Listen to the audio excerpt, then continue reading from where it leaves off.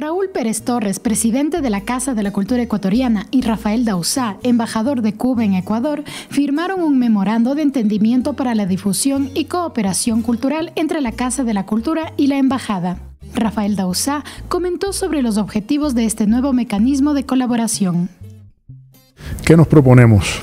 Eh, ¿Cuáles han sido los objetivos de este, de este memorándum? Bueno, pues fortalecer las relaciones eh, culturales, intelectuales, de todo tipo, entre la casa y no solo la embajada, yo diría que eh, entre la casa y Cuba también, porque por supuesto nosotros vamos a tratar de potenciar al máximo estos intercambios, la visita de artistas e intelectuales cubanos a la, a la Casa de la Cultura. Esta nueva etapa de cooperación entre ambas instituciones inició con la donación de 112 discos de acetato de música cubana y ecuatoriana por parte del embajador de Cuba, Rafael Dausá. En agradecimiento, Raúl Pérez Torres entregó dos libros del fundador de la institución cultural, Benjamín Carrión.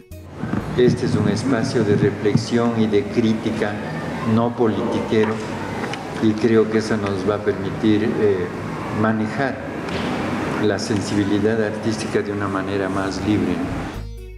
De esta manera, la Casa de la Cultura Ecuatoriana fortalece sus relaciones con esta nación en un intercambio cultural para enriquecer el capital inmaterial de los pueblos de Ecuador y Cuba.